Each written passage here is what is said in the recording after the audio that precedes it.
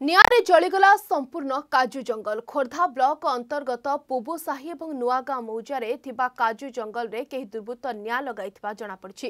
ଫଳରେ ପାଖାପାଖି ଦୁଇଶହ କାଜୁ ଏବଂ ପଟାସ ଗଛ ସମ୍ପୂର୍ଣ୍ଣ ଜଳିଯାଇଛି। ଗ୍ରାମବାସୀମାନେ ଏ ବାବଦରେ ସୂଚନା ଦେଇଛନ୍ତି। ଗ୍ରାମବାସୀ ଅଗ୍ନିଶମ ବିଭାଗକୁ ଜଣାଇଥିଲେ ମଧ୍ୟ ଅଗ୍ନିଶମ ବିଭାଗ ଘଟଣାସ୍ଥଳରେ ପହଞ୍ଚି ନଥିଲା। ସ୍ଥାନୀୟ ଗ୍ରାମବାସୀ ନିଆଁକୁ ଆୟତ୍ତ କରିବା ପାଇଁ ଚେଷ୍ଟା ଜାରି ରଖିଛନ୍ତି।